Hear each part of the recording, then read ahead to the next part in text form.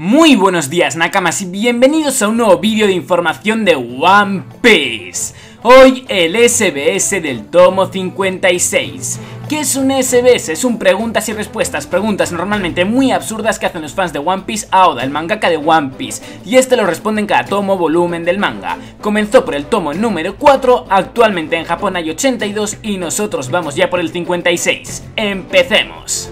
El primer lector dice así, empieza el SBS. ¡No! Seudónimo San. Yoda le responde, ¿entonces no empieza? El segundo lector dice así, Oda Sensei, Emporio Woman Hormone. Ahora comienza el SBS. Seudónimo, uno de los Newkama. Yoda le responde, voy a empezar. Corazoncito, el SBS, corazoncito. Uff, corazoncito. El tercer lector dice así, ¿de qué división de los piratas de Barba Blanca es ese tipo de comandante? Seudónimo, Tarot, dibujo desconocido que dice, ¿qué comandante división era? Yoda le responde, este tipo no pertenece a ninguna división de Barba Blanca, y por supuesto no es el comandante de ninguna, Tarot Kun. No están los piratas de Barba Blanca en absoluto, Tarot Kun.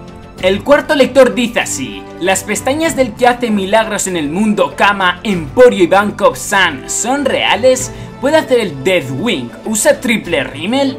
Por cierto, aunque yo uso doble rímel en las pestañas, todavía no tengo suficiente poder en los ojos. Seudónimo, me encanta Odachi. Yoda le responde, son pestañas reales. He recibido muchas cartas preguntando si el Deathwing es un tipo de haki, pero es una explosión que se crea con el guiño. El quinto lector dice así, Odachi ayuda a todos los que van a hacer exámenes de ingreso, pero no pueden concentrarse en el estudio. Por favor, en serio, palabras de aliento para todos nosotros, aunque esto no sea una pregunta. Seudónimo Potechin. Y ahí lanza Oda sus palabras de ánimo. Leed manga, ved la película Strong World y estudiad por todo lo que vale la pena. También podéis hacer un pastel y coméroslo. El sexto lector dice así, quiero ir a Disneyland. Seudónimo Odachi, por favor, llévame allí. Yoda le responde, muy bien, vamos a ir a pasear. Blue Mountain. Eso era café. Vamos, que no sé, no entendió absolutamente nada. Una de las ideas de olla de Oda. El séptimo lector dice así, Hola Oda Sensei, por cierto, he descubierto algo, no se trata de Inudesu o Umadesu, sino de Sarudesu. Si te fijas en la lanza de Sarudesu cuando aparece por primera vez en el tomo 54, hay agujeros negros o algo a intervalos regulares, ¿verdad? Y una nota del traductor nos dice, es un juego de palabras con el nombre de Sal Death, que suena como Sarudesu, soy un mono, como Inudesu, soy un perro, y como Umadesu, soy un caballo. Si sigues leyendo a partir de ahí, en la viñeta debajo de donde se explica la capacidad de Mr. 2, hay una escena en la que Sarudesu está sosteniendo su lanza, pero parece que la está sosteniendo con la boca. En otras palabras, la lanza de Sarudesu es una flauta y usa su sonido para controlar a los Blue Goris, seudónimo, mañana de Musume llena de ternura. Yoda le responde, es cierto, bien visto. Si escribiera las escenas de batalla con muchos detalles, la historia se pararía y no es divertido, por lo que ese tipo de cosas se ponen lejos en las esquinas de las viñetas de esta serie. Pero sí, la lanza de Sarudesu se convierte en una flauta que controla a los Blue Goris. El octavo lector dice así, tengo una pregunta para ti, Odachi. ¿Por qué los residentes de New Kamaland usan medias de red? ¿Te gustan las medias de red? Dímelo, por favor. Seudónimo Mosako. Yoda le responde, bueno, no importa si me gustan o no, pero soy el tipo de persona que usa medias de red y abrigos de piel mientras dibuja cómics. En cuanto a por qué la gente de Kamaland usa medias de red, es porque están ahí. Como los alpinistas suben montañas solo porque están ahí. El noveno lector dice así, ¿Nyomba tiene un hoyuelo en la barbilla? Seudónimo Gon-chan. Yoda le responde, es verdad, tiene un hoyuelo en la barbilla como Frankie. Me pregunto si podrá disparar un Coup du Vent. El décimo lector dice así, Oda Sensei, en la portada del tomo 54 dice que la gente puede vivir hasta los 140, pero Kureha estará bien, ¿no? Seudónimo Obaka-san. Yoda le responde, ah, cierto, ahora que lo mencionas, ella tiene 139, ¿verdad? Bueno, si decidimos que el límite de una persona normal es de 140 años, ella sigue siendo sobrehumana, en el sentido de que va más allá de otras personas, así que va a estar bien. Además, las personas que van a morir en un año no caminan por la nieve con la barriga al aire. Y eso ya está confirmado que sigue viva porque la vimos hace poco y tiene 141 años. El undécimo lector dice así, me acabo de dar cuenta de esto, pero a pesar de que siempre escuchas los deseos de tus lectores, nunca pides un nuevo personaje o una nueva fruta del diablo que aparezca en la serie. Si pudieras hacer una... Mmm, una fruta diarrea, Geri Geri no Mi, o una fruta estómago rugiente, Buri Buri no Mi, alguien que comiera la Buri Buri no Mi y su estómago funcione perfectamente, ¿no sería genial? Seudónimo Chica Scorpio. Yoda responde, no sería genial en absoluto, sería solo una persona normal y saludable. Bueno, no pido sugerencias y no lo haré, no las necesito. Puede que suene algo frío, pero no quiero las ideas de la gente. Los editores y la gente de la Jump a veces cambian y cada vez hay alguien nuevo, así que lo primero que les digo es que no me den sugerencias. Quiero poder decir que pensé todos los personajes y la historia yo solo.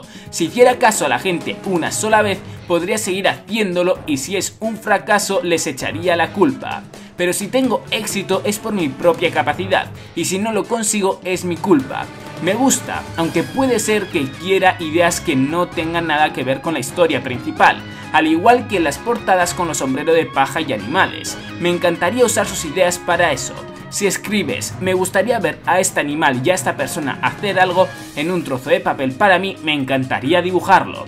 Pues creo que al principio en Marineford tenía planeado matar a Garp y luego el editor le dijo que cambiase y que matase a Ace en lugar de Garp, si no me equivoco, y de hecho creo que esta frase es bastante fiable, este hecho, vamos.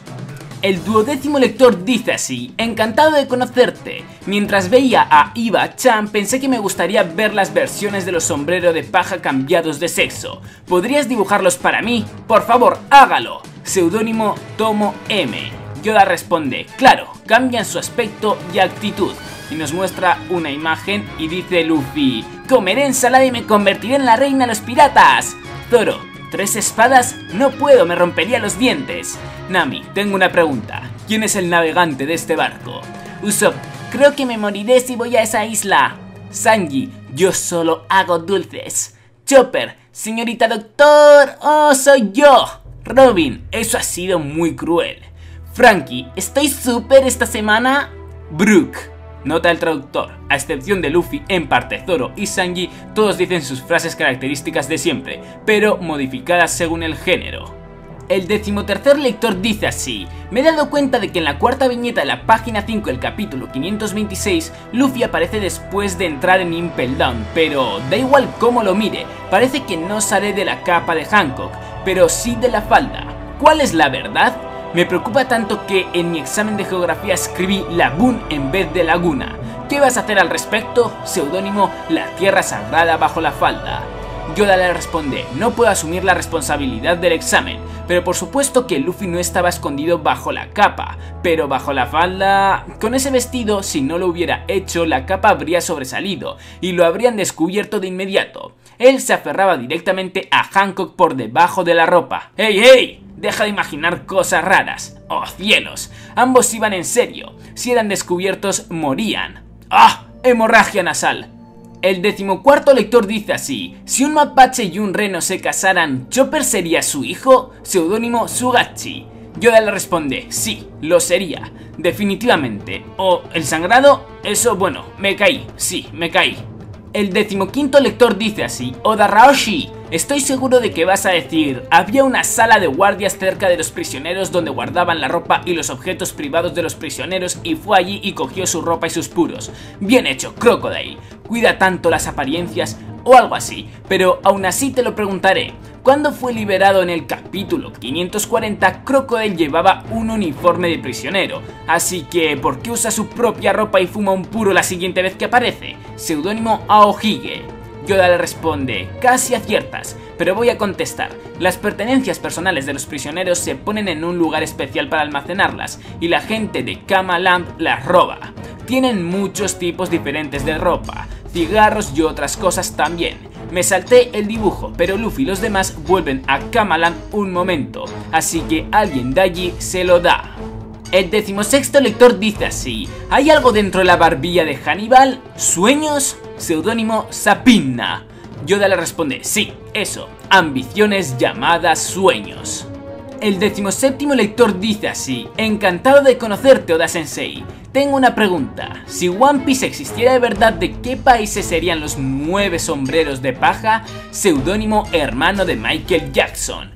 Yoda le responde, bueno, voy a ponerlos según la apariencia del personaje. Luffy, Brasil, Zoro, Japón, Nami, Suecia, Usopp, África, Sanji, Francia, Chopper, Canadá, Frankie, Estados Unidos y Brook, Austria. El decimoctavo y último lector dice así, el sonido del Deathwing de Iba-chan es Bachun. Odachi, enséñame a pronunciarlo, seudónimo Mafui, sombrero de paja. Yoda le responde, tienes buena vista, tienes razón, no es solo un mmm, son tres puntos, un ba normal no captaría el sonido destructivo de ese guiño, así que me lo inventé. Se trata de Bachun, es fácil pronunciarlo, solo tienes que pronunciar ba con la fuerza suficiente como para escupir al menos tres gotas de saliva. Así, todos juntos. Ba-chun, ba-chun. Mm, y aquí termina el SBS. Esta daremos un descanso de los sellos, pero en lugar ofreceremos una enorme sección de cine. El SBS volverá en el próximo tomo. Pues hasta aquí ha llegado el vídeo Nakamas, como siempre agradecería muchísimo que le hizo un buen me gusta, que apoyaseis a tope el vídeo si os ha gustado, que siempre, últimamente de hecho siempre creo que hemos pasado los 3000 me gustas y es algo increíble, recordad que tenéis mi Twitter en la descripción en el que os informo casi al instante cualquier novedad importante de One Piece y de cuándo salen los spoilers en los capítulos del manga, tanto en inglés como en español, y ya por último agradecería muchísimo que os suscribieseis para muchos más vídeos de One Piece, hasta la próxima.